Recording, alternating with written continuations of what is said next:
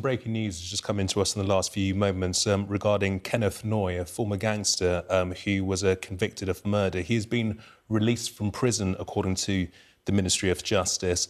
Um, he had served nearly 20 years for killing Stephen Cameron, who was 21 at the time, on an M25 slit road near Swanley in Kent, which was back in 1996. The murder took place in front of Mr. Cameron's 17 year old fiancee.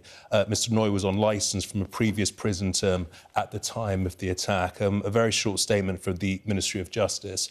Um, and they say, We understand this will be a distressing decision for the family of Stephen Cameron, and our thoughts remain with them. Like all life sentences, prisoners released by the Independent Parole Board, Kenneth Noye will be on licence for the remainder of his life, subject to strict conditions, and faces a return to prison should he fail to comply. So, the breaking news um, this afternoon uh, Kenneth Noye, former gangster uh, convicted of murder, um, has been released from prison, according to the Ministry of Justice.